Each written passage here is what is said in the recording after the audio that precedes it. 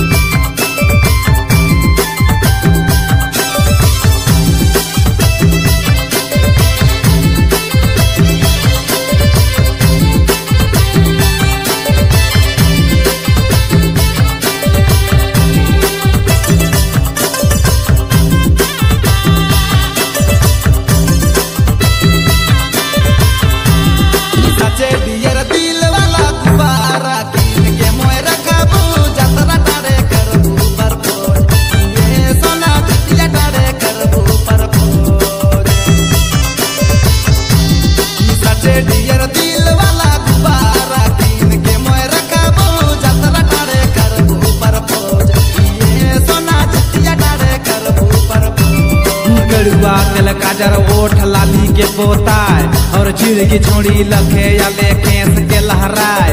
ई का जोग जड़ी देलो, ई पगर ढहा, और मिले या ले मैया, ई बोला लो जवन ठीना रे, बोला लो जवन ठीना।